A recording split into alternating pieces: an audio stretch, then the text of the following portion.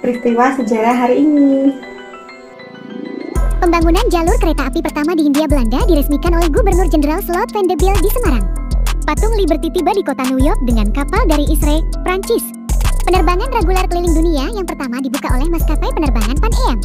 Operasi transplantasi ginjal pertama kali dilakukan di Chicago, Amerika Serikat.